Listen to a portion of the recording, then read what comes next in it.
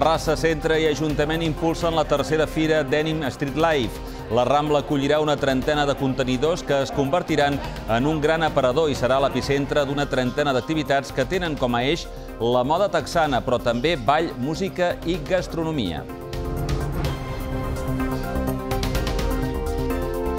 Les piscines municipals han tingut aquesta temporada un 9% més d'usos que a l'estiu de l'any passat gràcies, en part, a l'episodi de calor que s'ha viscut. S'han superat les 142.000 visites en tota la temporada de bany, des del dia de Sant Joan fins al 4 de setembre. La piscina de Vallparadís segueix sent la més utilitzada pels ciutadans.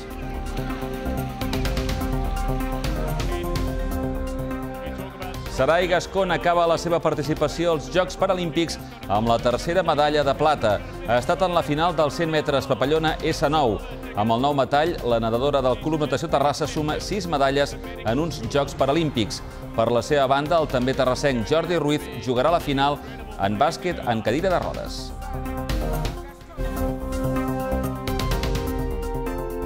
La Diada Plec Sardanista omplirà la plaça Vella amb més de 2.000 dansaires. La ballada de sardanes començarà dissabte a la tarda i continuarà durant tot el diumenge. És l'edició número 44 de la Plec que enguany estarà dedicat a Ramon Llull, coincidint amb el setè centenari de la seva mort.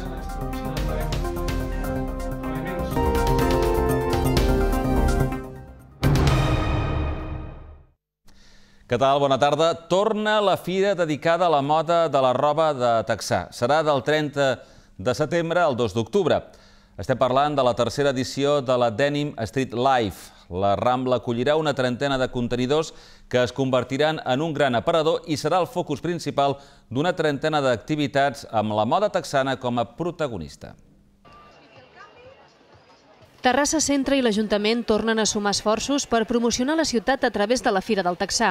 Aquest any és la tercera edició i es farà el cap de setmana del 30 de setembre al 2 d'octubre. A més, canvia el seu nom pel de Denim Street Life, amb la voluntat de potenciar la vida al carrer i la cultura urbana. Durant tres dies, la Rambla acollirà una trentena de contenidors que es convertiran en un gran aparador on els comerços terrassencs mostraran les darreres tendències i serà també l'epicentre d'una trentena d'activitats que tenen com a eix la moda texana, però també el ball, la música i la gastronomia. Aquesta vegada, a les degustacions del Mercat de la Independència s'hi afegeixen 10 food trucks. Més que anar a comprar, doncs, és que aquests dies hem de sortir, hem de gaudir d'un visual diferent, o sigui, les ciutats sempre iguals avorreixen, i llavors el que pretenem aquests dies doncs, és presentar un tipus de comerç i un tipus de gastronomia diferent. Jo crec que és un gran aparador eh, que projecta la ciutat de, de Terrassa i que el podem posar ja, després d'aquesta tercera edició, a l'alçada d'esdeveniments tan importants com la Fira Modernista, com el Festival de Jazz o com també el propi TNT, que també tindrà lloc durant, durant les mateixes eh, dates. Entre les novetats, aquest any desapareixen les pistes de skate, però s'incorporen diversos concerts a càrrec de les escoles de música de la ciutat. Es mantenen els tallers temàtics de tenyit, estampació i decoració de roba, així com les visites guiades al patrimoni, tot plegat adreçat a un públic familiar, però també adolescent. Per cert que el Denim Street Life conviurà durant el mateix cap de setmana amb el Festival Terrassa Noves Tendències i la Fira del Dibuix a la plaça Vella. Canviem de tema, s'ha ajornat un nou desnonament que estava previst en un habitatge del carrer Sant Crispí, al barri de Can Anglada. Es tracta d'un pis propietat de la Sareb, banc que l'Estat va crear amb els actius de la reestructuració bancària. En Halal viu des de fa 3 anys en un pis de Can Anglada i avui s'ha deslliurat de ser desnonat, almenys per uns dies. L'habitatge propietat de la Sareb, el banc dolent que l'Estat va crear amb els actius de la reestructuració bancària, el va ocupar perquè estava buit i ell s'havia quedat sense casa. Està separat de la dona, té la custòdia compartida de les seves tres filles, no té feina i viu amb 460 euros mensuals d'una ajuda social.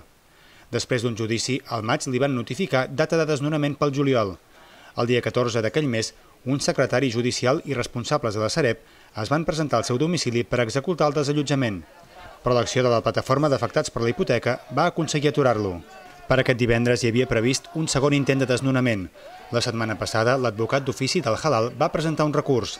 No ha estat fins aquest matí, amb els membres de la PAP preparats per tornar a evitar el desallotjament, quan per telèfon han sabut que s'havia ajornat fins que es resolgui el recurs. Des de la PA denuncien que la Sareb és propietari de molts pisos buits i que no sabia negociar amb les persones que els estan ocupant. El Centre Cívic Maria Aurelia Campany ha acollit aquest dijous a la tarda una nova audiència pública amb la participació del tinent d'alcalde de Cultura, Innovació i Projecció de la ciutat. Amadeu Aguado ha comparegut per retre comptes a la ciutadania, contribuir a una major transparència i fomentar la participació.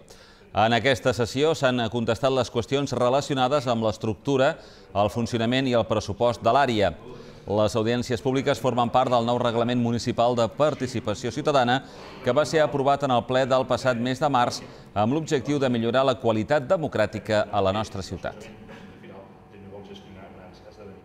I també l'Ajuntament de Terrassa ha celebrat aquest dijous a la tarda la reunió ordinària de la Comissió Informativa Especial en matèria de transparència. La trobada de caràcter públic ha tingut lloc a la sala de govern i ha estat presidida pel regidor d'Esquerra Republicana de Catalunya, Carles Caballero. També hi han assistit representants de la resta de formacions polítiques municipals. Entre els punts de l'ordre del dia, la comissió ha tractat l'informe de seguiment de les peticions d'accés a la informació municipal, corresponents als dos mesos anteriors. També s'han presentat les propostes dels grups polítics municipals en relació a l'ordenança de transparència i bon govern. Últims treballs aquest divendres al matí per convertir un tram del carrer de Sant Feliu de Llobregat únicament en sentit nord. Concretament, la part de la via que deixa de ser de doble sentit és la que es troba delimitada entre l'Avinguda de Béjar i el carrer de l'Hospitalet de Llobregat, al barri del Pla del Bonaire. Amb aquesta actuació, a més, es guanyen 5 places d'aparcament en semibateria. Més canvis en la circulació viària de la ciutat, aquesta vegada puntuals i reversibles. Al barri de Vilardell i amb motiu de la seva festa major, una part de l'Avinguda de Madrid estarà tallada al trànsit fins el dimarts 20 de setembre a les 2 de la tarda. Els vehicles no podran circular fins llavors en el tram de l'Avinguda Comprès entre els carrers de Salamanca i de la Rioja. La calor ha fet augmentar un 9% els usos de les piscines municipals durant aquest estiu. S'han superat les 142.000 visites en tota la temporada de bany, des de la Diada de Sant Joan fins al 4 de setembre. La de Vallparadís continua sent la piscina més utilitzada i de bon tros. Les piscines municipals han tingut aquesta temporada un 9% més d'usos que l'estiu de l'any passat, gràcies en part a l'episodi de calor que s'ha viscut. Només ha plogut 4 dies, la meitat que l'any passat, i també hi ha hagut més dies sense cap núvol. S'han superat les 142.000 visites en tota la temporada de bany des del dia de Sant Joan fins al 4 de setembre. La piscina de Vallparadís segueix sent la més utilitzada, en tot l'estiu s'hi han banyat 83.000 persones. La segueix a molta distància la piscina de les Arenes amb 27.000, la de Sant Llorenç amb 18.000 i la de la Maurina amb 14.000. De mitjana, els usuaris posen de nota un 8,3 a les piscines municipals. Un 84% dels visitants reconeix que el tracte del personal d'aquestes instal·lacions és correcte i que sempre soluciona les incidències. 9 de cada 10 usuaris qualifica d'òptim el manteniment de les piscines.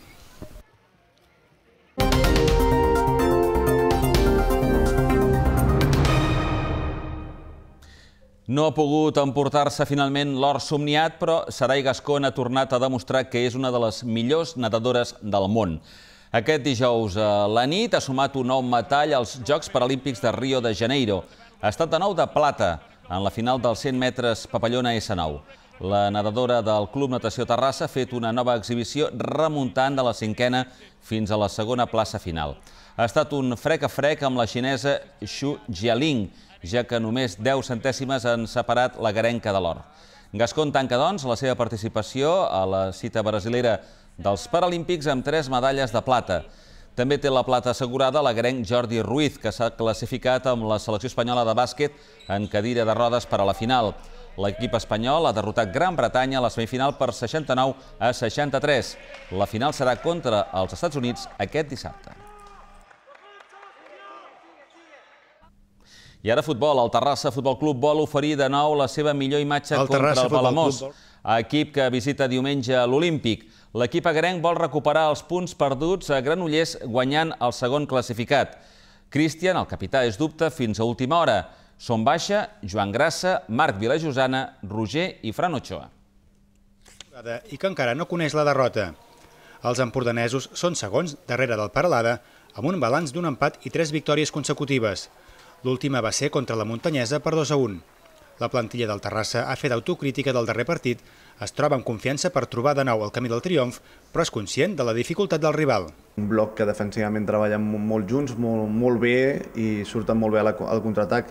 Després també quan tenen la pilota saben fer el típic atac posicional i, i bueno, la veritat és que està sorprenent una mica perquè ho estan fent tot bastant i bastant bé. I a més estan marcant tant sigui d'estratègia com, com en accions de contraatac i la setmana passada amb dos xuts des de la frontal de l'àrea, o sigui que, que no tenen un perill només enfocat, sinó que, que, el, que tenen diversitat a l'hora de, fer, de poder fer gols. Ha empezado muy bien, la verdad que, que lo que te digo va a ser un rival directo porque aunque la gente crea que no va a estar arriba al final, ganar tres partidos seguidos en esta categoría es muy complicado y yo creo que están demostrando que, que van a estar peleando arriba y, y, va a ser un partido muy complicado. Yo creo que va a estar muy disputado y al final es lo que te digo, el que, que materialice antes las ocasiones y se ponga el partido a favor, yo creo que és molt important. Per rebre el Palamós, el Terrassa continua tenint la infermeria plena. Només té opcions d'arribar al partit el capità Cristian, tot i que serà dubte fins a última hora. Són baixes Joan Grassa, que podria reaparèixer contra el Sabadell B, Roger, Marc Vilajosana i Fran Ochoa. Si Cristian no entra en la convocatòria, el tècnic agarenc cobrirà la seva vacant amb algun jugador del filial. El partit contra el Palamós es jugarà a les 7 de la tarda. Serà dirigit per Carlos Albeda Bárcena i es podrà seguir per la ràdio municipal de Terrassa. Arrenca una nova temporada de la Copa Catalunya de bàsquet amb i Club Natació Terrassa. Tots dos equips presenten novetats, començant per les seves banquetes. Rafa Gutiérrez dirigeix a partir d'ara la JET, mentre que Germán Simón és el nou tècnic del Club Natació Terrassa. Aquest cap de setmana arrenca la Copa Catalunya Femenina. Després d'uns quants anys sense doble representació local, JET i Club Natació Terrassa es tornen a veure les cares en aquesta categoria. La JET pateix una profunda renovació, començant pel seu entrenador, Rafa Gutiérrez, que exercirà de director esportiu i tècnic del primer equip en substitució de Jordi Justribó. De la plantilla només continuen dues jugadores, Elena Silva i Txell Arús. S'han efectuat un total de 10 fitxatges. Destaquen les incorporacions de dues nord-americanes, l'escorta Brandy Leal, procedent de la Cameron University, i la pivot Catherine Redmond, de la Universitat de Nebraska-Lincoln. Destaquen l'arribada d'una jugadora de Lliga Femenina 2, l'ala pivot de l'Andratx mallorquí, Maria Sall, i l'ala pivot Angie Leticia Mucudi, de l'Elx de Primera Nacional. Del Club Natació Sabadell arriben tres jugadores, la pivot Anna Iglesias i tornen al club l'alè Sílvia Diao i l'ala pivot Aixa Sumà. Els altres tres fitxatges són la base Mireia Torrents, del Sirius, de segona catalana, l'ala pivot Carla Xeiró, de l'Olesa, i l'alè Ainhoa Rodríguez, del júnior preferent del Futbol Club Barcelona. El debut de la GET serà aquest dissabte a Sant Feliu de Llobregat contra el femení Futbol Club Barcelona. Menys canvis s'han produït al Club Natació Terrassa, que aquesta temporada serà dirigit per Gemman Simón en substitució de Vicente Gómez. La plantilla presenta quatre incorporacions. Les bases Begoña Ramírez del Matà de Pere, Laura Garcia, que jugava al Tayside Mosquetiers escocès, i Alicia Hidalgo del Sant Cugat, així com la pivot Cristina Hidalgo, procedent del Sant Nicolau. El debut del Club Natació Terrassa, que torna a la Copa amb la voluntat de quedar-s'hi, també serà fora de casa, dissabte, a la pista de l'Igualada. El derbi contra la Jet arribarà molt d'hora, a la cinquena jornada, al pavelló del Bonaire. I en bàsquet masculí, el Club Natació Terrassa i l'Esfèric busquen fer un bon paper a la primera catalana. Tots dos equips es retroben en aquesta categoria després del descens d'un natació que estrena nou entrenador, Edu Sánchez. Els debuts seran a casa diumenge contra el bàsquet Berga i el Martinenc. Aquest diumenge es dona el tret de sortida a la primera catalana de bàsquet, amb doble presència local, Club Natació Terrassa i Esfèric. El Club Natació Terrassa torna a aquesta categoria després de baixar de la Copa Catalunya i ho fa amb una renovació notable a la plantilla, començant pel seu nou entrenador, Edu Sánchez, fins la temporada passada ajudant de Jordi Sociats a la banqueta. Pel que fa a l'equip, hi ha vuit cares noves. Els escortes Sergio Martínez, del Matà de Pere, i Dani Guerrero, del Vila de Cavalls. Els ala pivots Denis Izquierdo, del Nou Badia, i Pol Costa, de l'Esfèric. I el pivot Francesco Cessel, del júnior del Sabadell. Pujan del júnior del club el base Sergi Prat, l'escorta Pau Delgado i el pivot Enric Rodó. Una plantilla que combina experiència i joventut, sobretot amb el jugador més veterà, Jaume Santandreu, que continua un any més a l'equip. El debut dels Dedu Sánchez, que buscaran de nou estar en el grup de favorits a l'ascens, serà aquest diumenge al pavelló de Bonaire contra el bàsquet Berga. L'esfèric també és un dels favorits a lluitar per ocupar els primers llocs de la classificació. José García continua al capdavant d'un equip que presenta quatre novetats. Torna al club, després de molts anys, el pivot Sergio García, procedent del castellà. Del Ripollet arriba l'escorta Manolo Ochoa, del Sant Nicolau B el base Jordi Sancho i del Nou Badia l'escorta Ramon Galant. Aquests noms han d'apuntalar un equip on hi continuen jugadors amb experiència com el mateix Javi Sánchez, Edu Feliu, Toni Aguilera i Edgar Villar. L'esfèric, que ve de guanyar el Memorial Josep Maria Cernuda, també debuta a casa, diumenge contra el Martinenc. I aquest cap de setmana també arrenca el Corval, ho farà amb el primer títol de la temporada, la final de la Supercopa. Curiosament jugaran els mateixos equips que la passada edició, l'assessoria Vallparadís i el Castellbisbal. El conjunt de Miguel Ángel Tobaruela ho farà en condició de campió de la Lliga i de la Copa Catalana, mentre que els ballesans ho faran com a subcampions de Copa. El Vallparadís, doncs, buscarà venjar-se de la final de la Supercopa que va perdre la temporada passada. El partit es jugarà aquest dissabte a partir de dos quarts de cinc de la tarda al pavelló municipal de Sant Llorenç.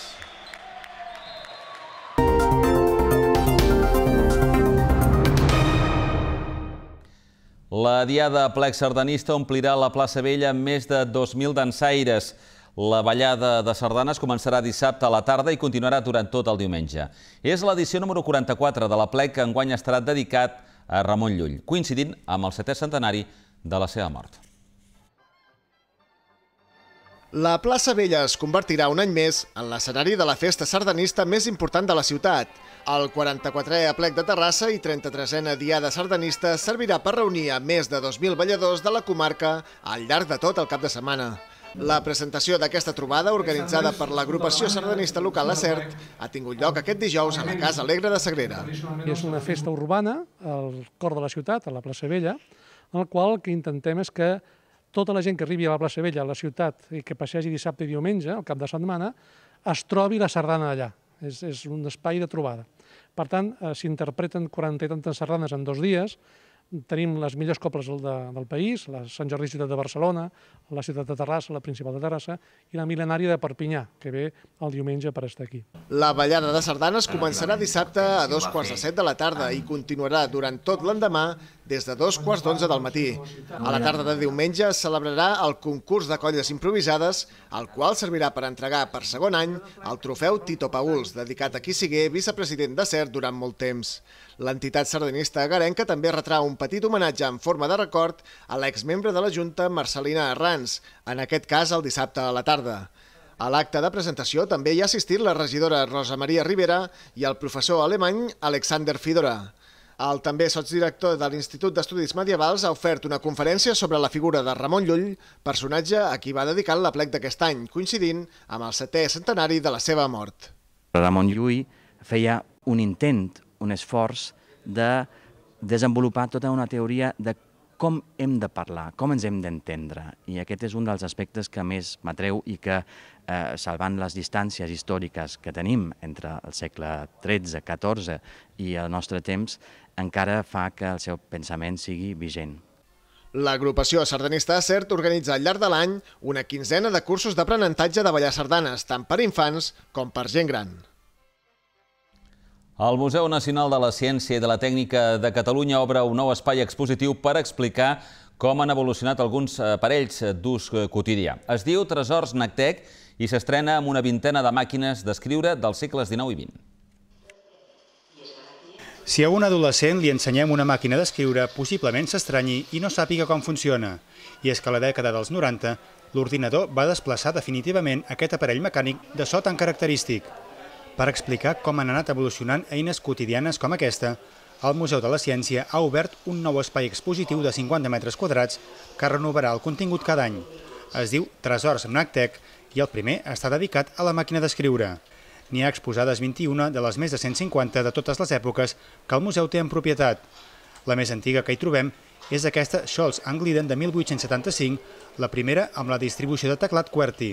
La més moderna, aquesta Hispano Olivetti Studio 45 de 1968. La visita als tresors Nactec dura 25 minuts i es fa en grups de 30 persones com a màxim. Comença amb la projecció d'un audiovisual a gran pantalla que explica l'evolució de la màquina d'escriure amb un llenguatge innovador que va descobrint els aparells exposats. També inclou un simulador virtual perquè els més joves descobreixin com funcionava una màquina d'escriure. La nova museografia l'hem fet eh, una mica fent un pas més endavant que l'exposició habitual i tradicional que es fa, que és de posar els objectes amb la cartela i explicar-ho doncs, eh, d'una forma més clàssica, sinó que el que fem és que hi hagi un relat, hi hagi una narració que sigui el fil conductor d'aquesta exposició i que et et vagi indicant cada un dels objectes. El nou espai expositiu Tresors Nactec renovarà la seva temàtica cada any, sempre amb peces de les col·leccions del museu.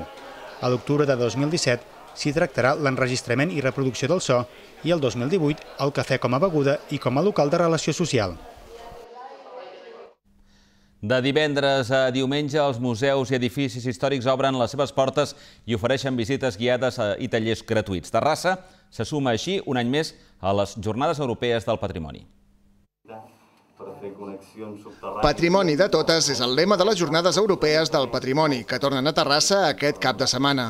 Del 16 al 18 de setembre estan previstes tota mena d'activitats gratuïtes, com tallers, portes obertes, visites guiades o exposicions, les quals serviran per mostrar el millor del patrimoni de la ciutat. El Museu de Terrassa organitza jornades de portes obertes en diverses instal·lacions. Es podran visitar la Casa Alegre de Sagrera, el Castell Cartoixa de Vallparadís i la Seu d'Egre, divendres i dissabte matí i tarda i diumenge durant el matí. Diumenge a les 11, el Centre de Documentació i Museu Tèxtil proposa l'activitat Els objectes ocults dels museus, on es mostraran algunes peces inèdites del barroc i del neoclassicisme. Al mateix dia i a la mateixa hora s'ha programat l'activitat Mont Museu per quedar-se d'una peça, una visita guiada adreçada a nens de 7 a 12 anys que permetrà descobrir la societat terrassenca de l'època de la Revolució Industrial. Per la seva banda, el Museu Nacional de la Ciència i de la Tècnica de Catalunya organitza diverses propostes. Destaca la visita al nou espai Tresors Nactec amb l'exposició Màquines d'escriure, així com les passejades per les voltes de la taulada i la visita guiada a les noves reserves del Nactec a Cervera. El Consell d'Europa va crear aquestes jornades l'any 1991 i cada cop són més els països europeus adherits a la iniciativa. Responsables de l'associació TUB d'Assaig 770 s'han reunit aquesta tarda de dijous amb el tinent d'alcalde de Cultura, Innovació i Projecció de la ciutat, Amadeu Aguado. També hi han estat presents el tinent d'alcalde Marc Armengol i el regidor de Cultura, Jordi Flores. El president de l'entitat, Albert Ubach, ha exposat els problemes de climatització que presenta el projecte del nou local de l'associació, previst a l'acondicionament terrassenc. Aquests eh, problemes poden endarrerir la posada en funcionament de les instal·lacions que haurien d'estar previstes per d'aquí a un any. UBAC ha demanat una solució als responsables municipals que passa, diu, per una necessària aportació econòmica. I en un altre punt de la ciutat, a la Masia Freixa, eh, ha estat escenari aquest dijous a la tarda de la presentació de Mont Terrassa, un nou mitjà de comunicació digital que donarà cobertura informativa a Terrassa i als municipis de la comarca. Mont Terrassa és una edició territorial del diari d'àmbit nacional El Món, editat eh, pel eh, grup Tot Mèdia. El president del Consell d'Administració del nou mitjà és el periodista terrassenc Salvador Cot, el qual ha explicat al públic assistent la seva obsessió perquè Terrassa tingui un mitjà de comunicació que es correspongui amb la normalitat d'aquesta ciutat, perquè Terrassa, ha dit, és una ciutat catalana. Cot ha reconegut és una ciutat difícil, però alhora ha remarcat que ha evolucionat i creu que l'evolució ha d'arribar també als mitjans de comunicació. I Tanquem l'informatiu. Gràcies per acompanyar-nos. Recordar que poden seguir l'actualitat, com sempre, a través de Canal Terrassa, per la ràdio municipal i per internet, a les xarxes socials i a terrassadigital.cat. Que vagi bé, bona tarda i bon cap de setmana.